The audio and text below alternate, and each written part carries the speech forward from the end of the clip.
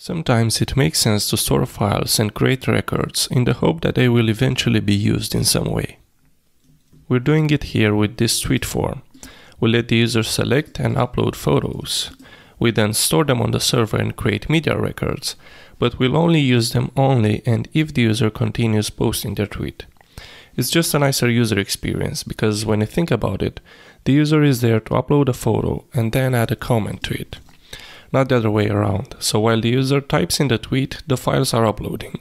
Then, when the tweet is posted, we'll find those media records and update their relationship with the tweet model. But if that doesn't happen, if the user closes the window without submitting the form for any reason, the media files and records will stay on the server and be of no use for anybody. They will just sit there occupying valuable space.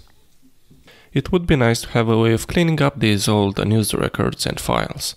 We can do that with the help of a custom artisan command that will loop through all the unused media records older than, let's say, a day, and remove them and their files. So let's create that command. We'll do php artisan make and then command delete unused media. Let's open the file, so delete unused media we'll set the signature to media delete unused.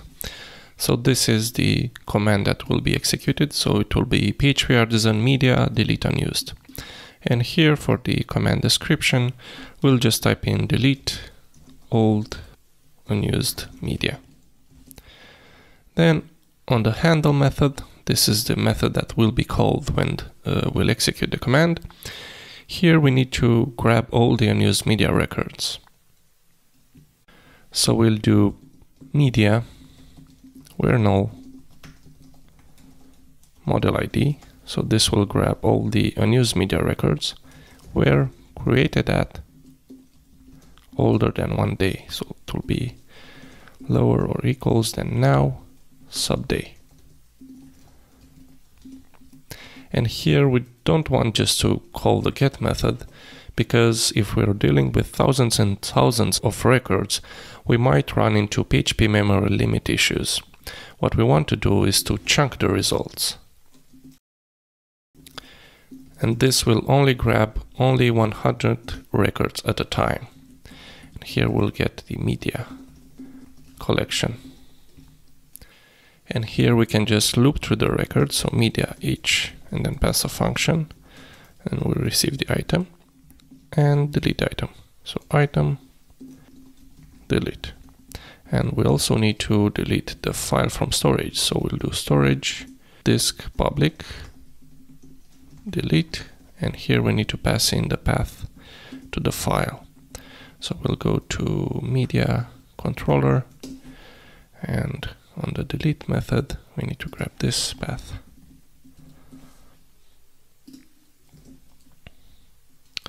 And instead of media we have item. And since we're using the same path in two places we can just grab this and create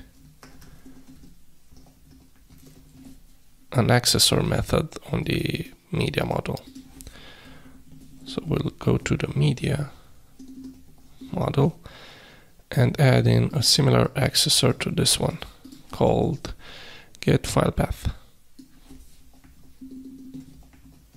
Attribute and we'll just return this and of course replace item with this. And if we look here is the same thing so we can just do this file path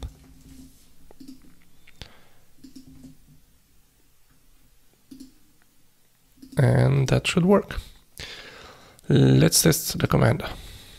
But what I want to do is to reduce this time to sub minute.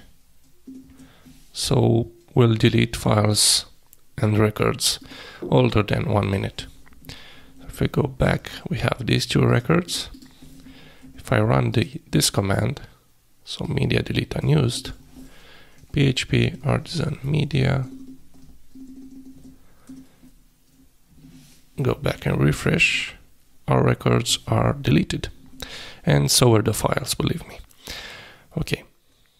Now that it works, it would be nice if we could run this every day automatically, just so we don't have to log into the server and run the command ourselves. We can do this by scheduling the command using the Laravel scheduler. So we need to go to app, console, kernel, and if we scroll down, we have this schedule method. Here we can set up our command, so media, delete unused, and have it run daily. Now to test this locally, we can just run php artisan schedule work, and it will start a cron job that will execute the schedule method every minute. To set up Laravel scheduler on a server, you need to copy and adjust this command and add it as a cron tab entry. This will run the scheduler every minute and check any pending commands Laravel needs to execute. And that's it. That's how you clean up unused records and files. Thanks for watching, subscribe, and click the bell button. Bye.